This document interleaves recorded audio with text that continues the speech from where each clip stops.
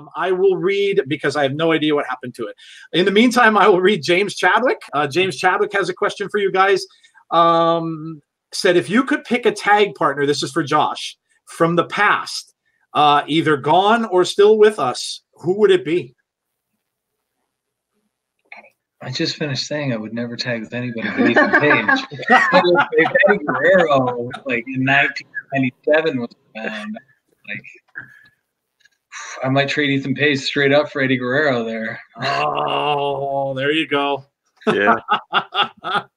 there you go. He's my favorite Uh, ball team. So Awesome. Awesome. Uh, let's see. Did we get Twan's question, Jeff? Uh, Not if yet. you're out there, Twans, let us uh, send us that question over. Uh, meantime, I have one here too from Jason Peace. Uh, Jason Peace, we talk about horror movies a lot on our chat. I don't know why, but it goes with wrestling quite a bit.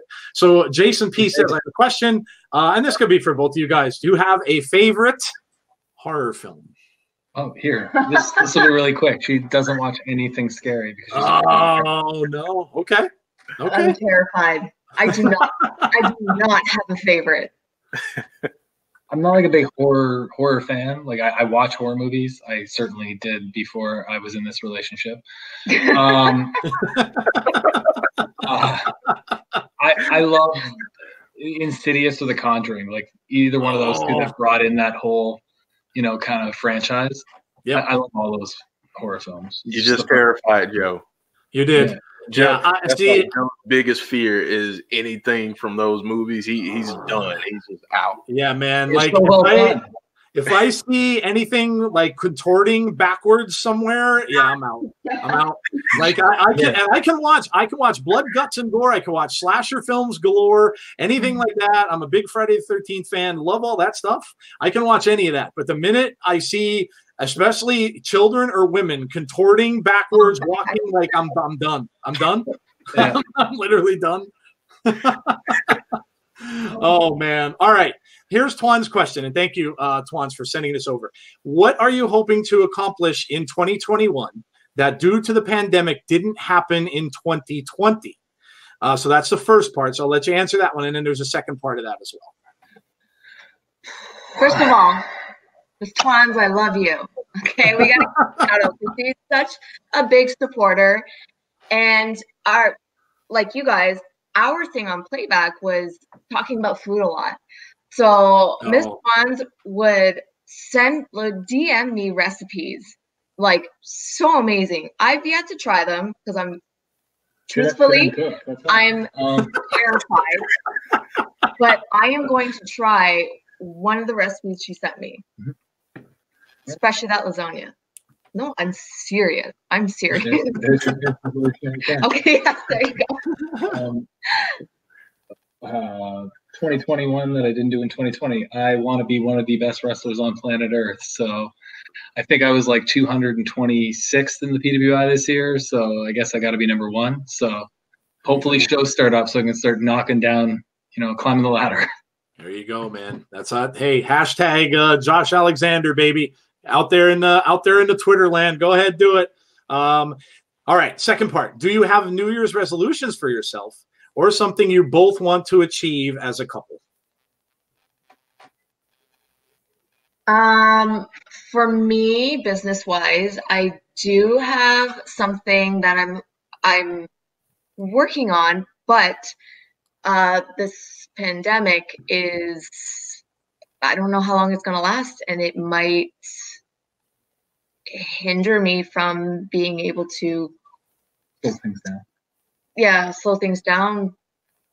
This Yeah, if 2021 is the same as 2020, nobody's doing much. I- I hmm. mean, I think at least, right? yeah Because you can't do it now. So it's it's pretty strict up here. So yeah especially here we're on like complete lockdown until the end of January I think. yeah, and then maybe maybe longer.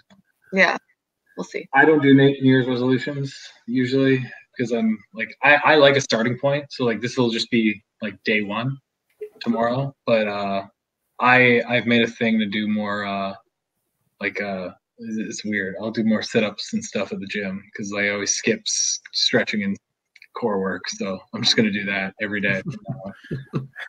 So like for Josh, as far as like eating and stuff, he's pretty strict with himself. And sometimes I'll test him. Not that I would actually let him eat, but I'll test him and offer him, you know, like whatever I had. I would never offer my Kit Kat, um, but you know, I would just see if he would. And he no, he's like super good with with his eating, with his workout. So really, gotta be a world champion. Yeah, that, it's got to start somewhere. awesome, awesome. All right, Jeff. Uh, who is our next question from, my friend? All right, so we've got Kim here. She says, "Josh, would you like to face the Karate Man?" Uh oh. No. Right? I'm, serious. I mean, uh, and I showed him mercy, so just. I don't know uh, if he, if anyone. I mean, I don't know. He's mysterious. We'll say that. It's a sore spot. Okay, I'm, I'm not a fan of Karate uh, yeah, I, I, I think we kind of got that a little bit. Yeah, yeah, kind of got that a little bit. Uh, it takes me back to those old Van Damme movies a little bit. Whenever I see that guy out there, man, you know, I, am like, uh, okay, um, all right, fair enough. Uh, Nails wants to know: Can we ask Josh when we are starting the campaign for his title run? He pinned Tessa. She didn't lose the belt, and he hasn't had his title shot. I mean, people have been campaigning ever since I pinned her last March. Kind of. I've been seeing it pop up nearly every week. So the campaign starts now, I guess. There you go. Right now. right now, we'll get it started. Right now. Don't wait. All right. DJ B Tazzy, part of our group. Uh, Tazzy is part of our uh, little crew here with the Insiders, does our Impact Wrestling with us as well. Uh, question for both Would you rather be heel or babyface? I'm a heel on heart. I started off as one, and oh no, I ended off as one. That's baby face. Never mind. That that totally did not work. I'd say heel just because I, I like the responsibility of having to get the baby face over. There you go. There you go. Uh, I was talking about the the show last night with uh, the Brodie Lee show. I was talking with Jeff about this and how you know, for them to do that, for the heels to come out during that whole thing last night, man, that took some that took some work. Then when you know you have to come out and you've got to be the bad guy during something like that, man, that's that's got to be brutal. That really has to be tough to do. So kudos to you know to anyone that that has to play that role. But you're right. I mean, you have to drag that out of somebody else and have people hating you. That's not an easy thing to do. Uh, so yeah, that's awesome. Rusty Shackelford wants to know 2020 will go down as a memorable year for all the wrong reasons. Tell us your most positive moment from this year. I mean, 2020 was professionally the most successful year I've ever had, regardless of uh, pandemic and lockdowns and all this other stuff. I think the North became nearly a household name in the wrestling community all over, whether you're an Impact fan or not this year. And uh, to say we did that during this crazy time is like that's something we're both really proud of. Absolutely, absolutely. Jade, you can answer that one too. Um, honestly, as a mother's perspective, um, just seeing my two and a half excel. Um, he is like off to reading right now, and this is all led by him, and I just help uh, just help give him the tools. Um, so it's been pretty amazing to see how hmm. far he's getting and how well he's understanding things. We, um, we just got lucky. He was one we, and a half years old. He literally was addicted to numbers and the alphabet, and like that he's doing that all. My other son was into like Jello and like. I don't know. We didn't do anything different. That's awesome. Awesome. Uh, I love it. All right. Little T wants to know, Josh, would you ever want to compete for the X Division Championship? Uh, that's the qu- first question, two part again, and then he has a question for Jade right after. So let you answer that. I would love to be the Samoa Joe, the modern day Samoa Joe of the X Division, and just run through that entire place because I'm just as fast as everybody in the X Division, but I'm much bigger and stronger. There you go. There you go. That's awesome. And uh, and Jade, uh, who is your dream opponent you would like to get in the ring with? There's a lot, but I think my number one would be Gail Kim. Oh, nice. But awesome. he's retired. but she's so amazing. Again, never say never. You never That's know right. if they'll stay retired. So yeah, you, you never know. That's awesome. Craig says, "So, how did you two meet, and how did the first date go?" Oh, Craig's getting a little personal here. Huh? Look at that. Or do you want me to answer? how? No, you pick a part. You pick the how did you meet or how did the first date go? Which one do you want me to answer? I'm terrified for you to answer either. Either well, yeah, I want to know which one. uh, huh. Um. Okay. How? How? Okay. I'll do the meet, okay. and you be. Sure. This is a. The, there might be kids watching, so I'm kidding. Um. How did we meet? Uh, the very first time. Should we say it? No, I, I think you, they mean like when did you like Okay, so how did how did oh shut then... you lie you lie okay um, how did we meet? I was trying to um, win something from the Raptors Twitter. They were having like this free, or giving away. They were giving away a BlackBerry, which I love Blackberries. Oh my goodness, Blackberries! yes, BlackBerry person. so they were giving away a BlackBerry, and I was like, oh you know, can somebody help me? Um, I just tweeted out, can somebody help me with like a witty, witty tweet? And then this guy DM'd me and he helped me. I didn't and win. the Blackberry guy. You freaking liar. you're a liar. You're a liar. Yeah. I told him. I told him if I win, I'll uh, I'll gift you something from Roots of Fight. Right. That was do you remember that? No, I don't. Oh, you just you don't remember anything. No, I don't. okay, so that's how we started talking. And then well, after that, we didn't talk for like a couple weeks. And then the Raptors had another giveaway for another BlackBerry. I was like, come on, I really need a new phone. I need I need to upgrade from my old BlackBerry. And so I think I DM'd you that time. Yeah, for help. And then like it was still nothing back then, but then we just like slowly started DMing back and forth, like slowly. Okay, your turn. I went to work at 4 a.m. and I didn't sleep.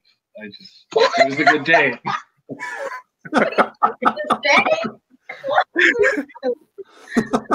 oh my gosh. Oh man. That's great. How about I just answer that oh, real you, quick? You mussels or something that came in a shell that was gross, and you went. and ate Mussels. Mussels, yes. Okay, our first date was actually on St. Patrick's Day. So of course we went out to like um, pub. a pub so that we can have a, do we even have a beer? Yeah, of course we had a beer. Who this? A stupid question.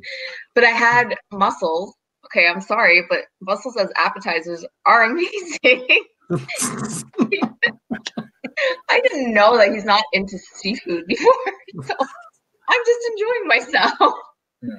I haven't had mussels in a while. anyway. Josh, I'm, Josh, I'm here for you, man. I detest anything that looks like any that's been on the bottom of an ocean, and I'm like, no, oh. absolutely not. And my wife loves it. My wife yeah. loves all that stuff like calamari. And I'm like, no, mm-mm. I'm seeing that stuff. I'm like, no, absolutely not. I love all. I have that when I have steak. Like, uh, yep, yep. There you go, steak and yeah. potatoes, baby. Whatever, guys. That's awesome. I'm I'm with you, Jade. I love oh, thank all you. Seafood, all seafood, so I'm, I'm I'm with you. well, there you go. All right. D Cohen 22 733 says, Josh, what do you think of the way Impact is being portrayed in the current storyline with Don Callis and Kenny Omega? I mean, it's, beneficial for both companies, I think. I think it's really beneficial for Impact because it gets those casual viewers that might have left to go see AEW that can come back and see how awesome we are now. Uh, yeah, I, I, think Tony Schiavone has really been dragging the name through the dirt with these paid advertisements. oh yeah. Other than that, I can't say there's a bad thing about it. the advertisements again they're a throwback too when you see those and you like to see the words flashing up on the bottom of the screen that's yeah, hilarious yeah. i love it uh, nails again says uh, would josh like to take the belt from swann or would he prefer someone else to have it first hmm. i mean swann is very beatable I mean, we gotta, realistically here. Yeah. I have no preference. Tonight. No preference. oh my goodness. Well, there you go. There you go. Um, what else do we have here, Jeff? Let's see. Uh, Craig just asked a uh, question here. Okay. Uh, does Josh have any funny story he can share with us about Brodie Lee? Oh, I mean, okay. I there's one uh, in like 2006. I was really new, and I went to like a small Canadian show, which was right across the border from Rochester. So Brodie was coming up for these shows as well, and this is when I met him and his wife. His wife was a referee at the time, and this is like 2006, like I said. And I don't know why, but somebody told me they would buy me dinner. I was very poor and like 18. Uh, they would buy me dinner if I wore my my all my ring gear to the post show restaurant. And so like I went into this, this I, I it was either I eat and I wear spandex or I don't eat and I wear my jeans. So I wore my singlet which had tassels attached all over the place. It was a very different time. It was a very different Josh into this place. And I remember I sat down at a booth with this guy, and he was gonna, and like nobody was sitting with us. Nobody was sitting with us. And then Brodie and his wife came up and sat with us, and he like he just like stared at me for like five minutes and like said nothing, and I was just like really intimidated because he's six foot seven. Uh, yeah. And finally, he just like looks at me, and goes, "Why are you doing this?" And I, I was just like, "Ah, oh, it's either this or I don't eat." And he goes, "All right, man, I respect that," you know. and then they he proceeded to make fun of me for the rest of the night and like point out things to the, the waitress that kept coming over to get like drink refills. But oh, yeah, man. that's like my first memory of Brodie. Like I, I worked with him that night in a match, and uh, after that, like he just he was always there. He was just always a guy that had my back, even though we didn't talk. We wouldn't talk between shows. You know what I mean? He was just like everybody that's saying this stuff. Like I haven't talked to Brodie since I haven't talked to him in person since 2012. I haven't had any contact with him in like three years, just because I was like, I'm gonna see him soon. You know, he just AEW, might see him. You know, and like it, it, feels like I was with him yesterday when I see these videos and hear these stories about him. You know what I mean? Like he just he touched everybody. It's great to hear everything that was told you you uh, you know there's a person you have you didn't hear a single bad word about from uh, nearly anyone. And the fact that it got so i was talking to jeff about this today too the fact that it got like so many people together and it didn't matter what company they were from where they were from what you know but all of the athletes and the superstars that talked about him none of them had a bad word to say. And they all came out and said that they remember him most for being a family man uh, which is unbelievable. Um, so uh, that's that's fantastic.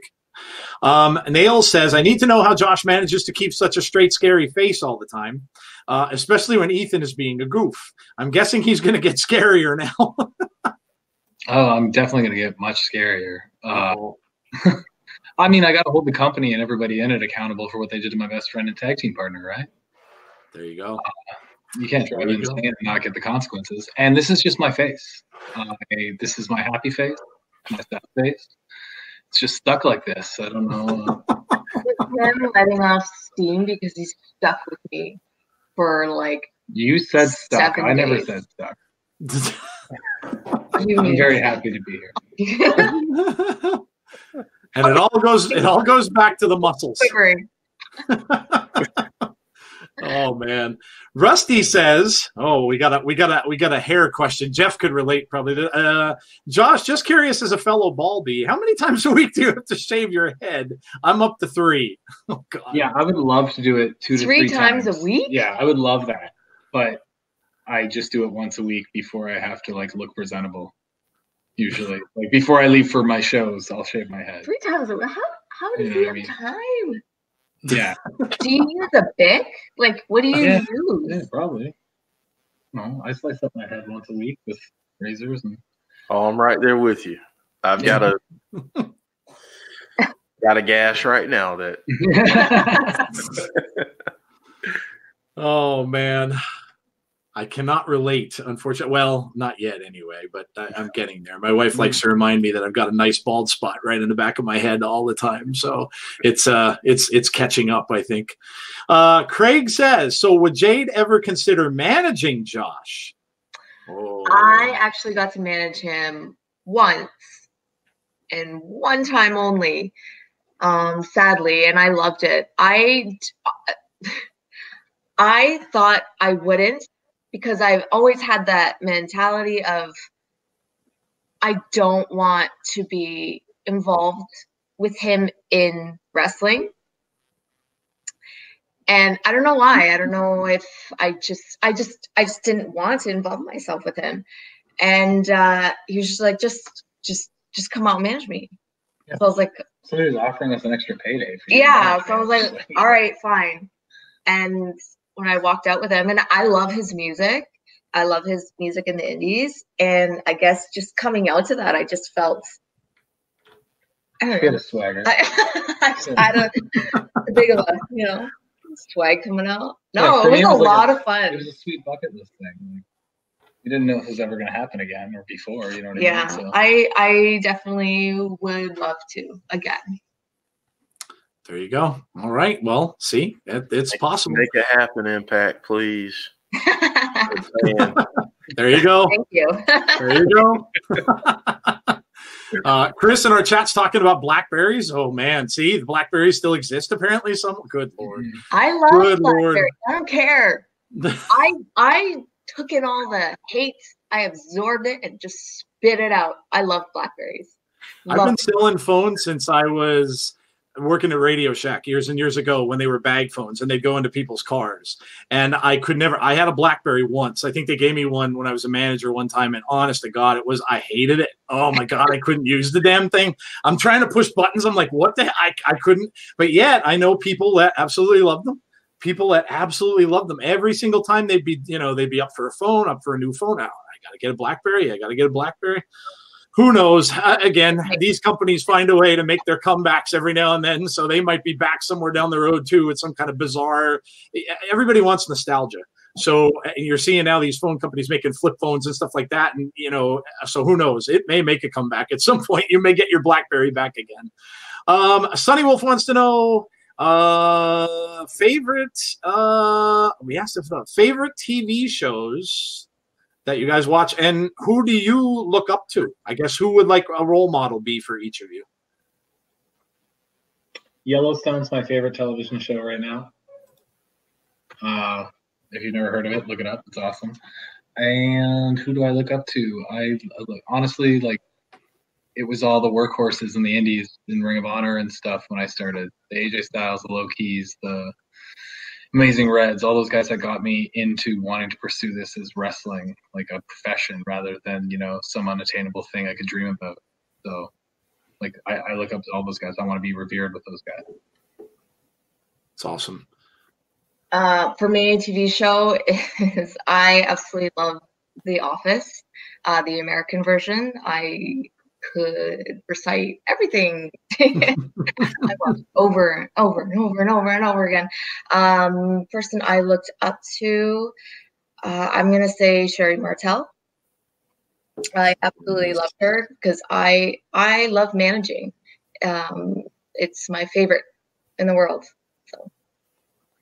That's awesome yeah sherri was fantastic uh what a what a fantastic character uh that she had and yeah that's that's awesome what a great so answer good. She could like work with anybody, and she just kind of molded herself into their character. It's Yes, just she did. That's that's that's amazing. Uh, all right, we will have one more question. We'll finish up with this one because we'll let these two guys go so they can go celebrate New Year's properly. Uh, so Craig says again, how awkward was it meeting Ethan Page for the first time, Josh? I I don't know if I'd say it was awkward. I was 18. He was 16. Uh, he just came into a wrestling school and thought he was the best person that walked in before he even ever started training. So it, it, definitely uh, it's, it's, the relationship didn't start off the best. It took us a few years to actually become friends, but uh, I wouldn't say it was awkward at all. He was just a dorky 16 year old kid, and I was a dorky 18 year old kid. There you go. There you go. Oh man, awesome. Well, listen, guys.